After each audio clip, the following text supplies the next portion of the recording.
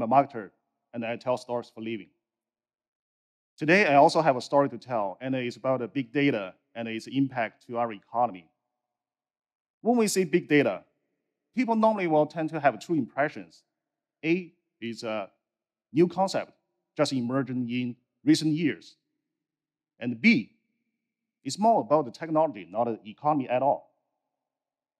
But the fact is, this concept has been around over century.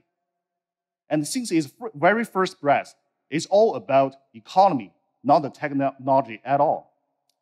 So today I'm going to combine my personal story and with these two domains of knowledge, economics and technologies, and take you back in time to show you how big data played an important role in our economy even before the buzzword big data exists. To prove my point, I'm also going to carry out a small experiment right here on the stage to show you why we can't, why we can't afford to not pay attention to this uh, new signal to the future economy. So, first thing first, what's about my story? I was born and raised in China during the Cold War. In my childhood, a very unique part of my life is to uh, wait in a line with my grandmother outside of so-called rationing shops and to buy groceries for the whole family. Like this photo. Not just groceries. Back in that time, you could not buy anything just with your money. You also need to pay with the so-called ration coupons at the same time. Let me give you some example. If you want candies, you need to get your money and the candy coupons. If you want a new bike, you need to get your money and the industrial coupons. If you want a new shirt, you need to get your money and the textile coupon, so on and so forth. This weird ration system started from 1950s and eventually ended in 1993. So for people live outside of China, you probably have two questions right now in your, in your mind. One, why didn't people just go directly uh, to the merchants or even manufacturers and buy from them? And B, probably the bigger question is, why we have this rationing system even when we didn't have a uh, long period, uh, long period lasting uh, of natural disasters.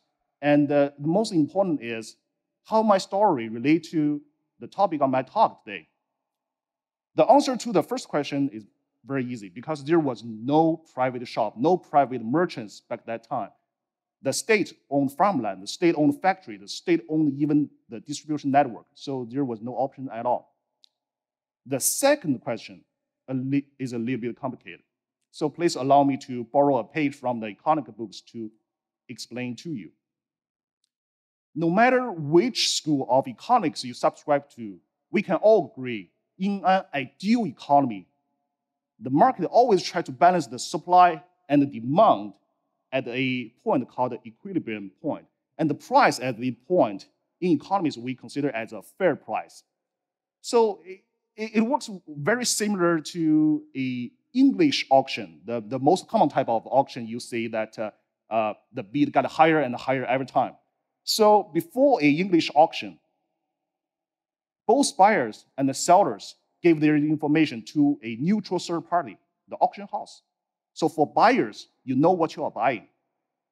And for the sellers, you know how many people out there are interested.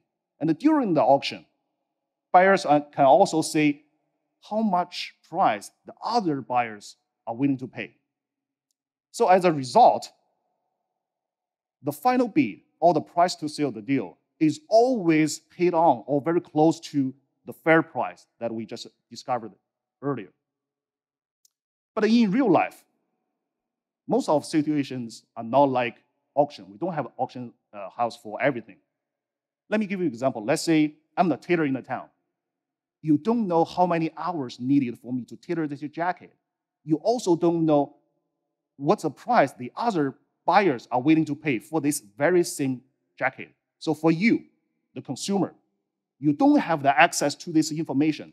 But for me, the seller, this information withholding gave me a little bit of power to allow me sell you at a higher price than the fair price. So in economics, this considered as inefficiency because resources uh, allocated inefficiently. So the economists start to think, okay, if the economy is not running efficiently, and the problem is because lack of information, let's create a nationwide neutral third party. Enter Big Data 1.0. Gosplan, or Soviet Union State Planning Committee, was created nearly a century ago. It also had a Chinese counterpart.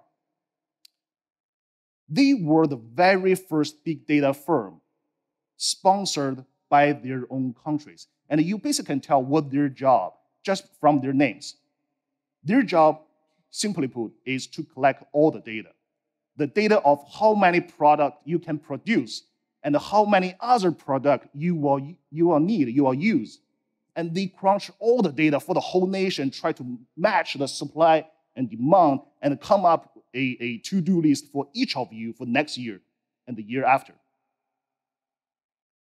But apparently, they both failed their jobs.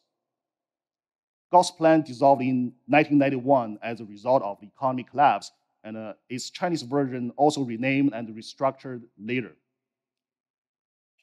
Ironically, what happened exactly after of that is not famous to the world.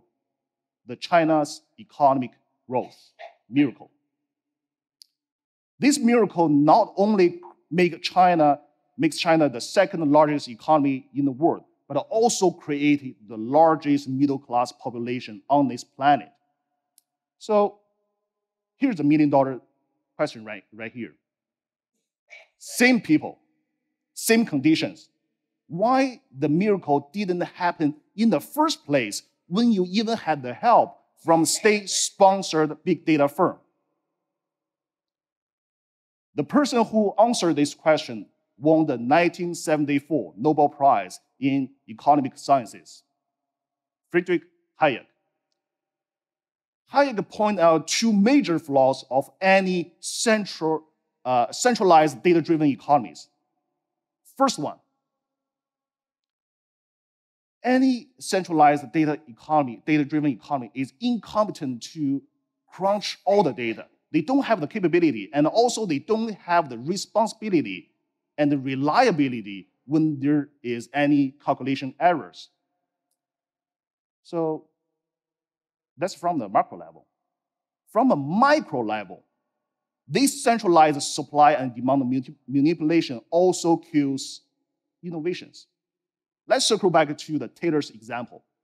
Let's say if I'm the tailor in the town and I'm selling a little bit higher price than the fair price, so there's a little bit profit for me. And another person, another young man in the town may think, okay, tailoring uh, jacket seems like a profitable business. So I'm also want to get in this business and open my shop. Maybe I can provide better service or provide more options. But what if, according to big data, you can only sell your jacket at the fair price? So for this young man, why should he shoulder the extra risk and become an entrepreneur. That's exactly why all the planning economy countries suffer stagnation of technology and the innovations. So I just present you the past and explain it in a, from the economic side. But where's the future? Where's the technology? I believe most of the audience today here are very familiar with online shopping and have experience of that. I have an Amazon Echo right here with me. So let's say if there's any difference when we buy from the same shop, but through different means. Alexa, buy batteries. The top search result for batteries is Amazon Basics AAA Performance Alkaline Batteries, 36 count.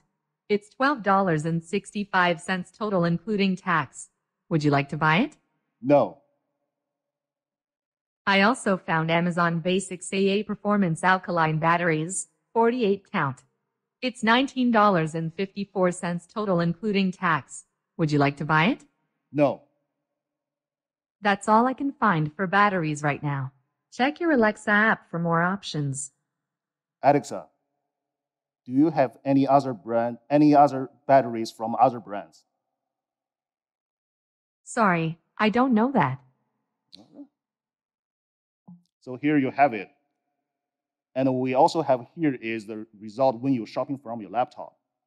So if I was a marketer working for Duracell batteries, I will be very worried by now because according to Alexa, your product doesn't even exist. So same shop, same database, but different result. I'm not the only person who noted this phenomenon. Professor Scott Galloway from New York University is the first person I know who discovered this. Like most people, I too enjoy the convenience and efficiency of the technology.